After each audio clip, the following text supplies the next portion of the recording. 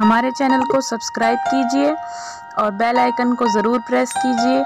और हमारी वीडियो को ज़रूर शेयर कीजिए